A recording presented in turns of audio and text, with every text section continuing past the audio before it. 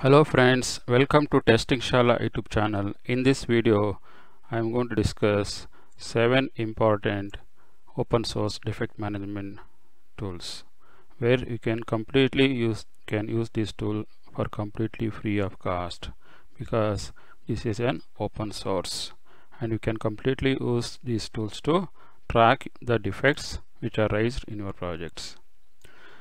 Before moving to the further, if you visited Testing Shala YouTube channel, then please click on subscribe and bell notification so that all our future videos related to software testing will be in your inbox that would help you to enhance your software testing skills.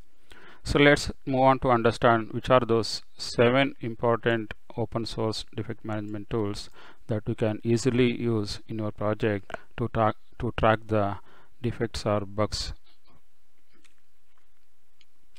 The first defect management tool which is open source is WebIssues. Web issues is the first open source defect management tool and you can find out more information from this website.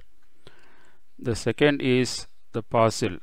The Fossil is the second defect tracking tool which is completely open source. The third is Mantis BT is the third. The fourth is Bugzilla. Fifth is Trac. Sixth is Redmine. Seventh is OTRS.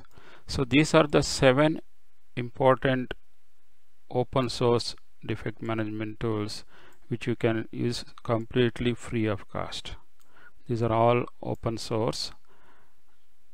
And you have a good community of people also who can help you to support all the technical queries you might be having.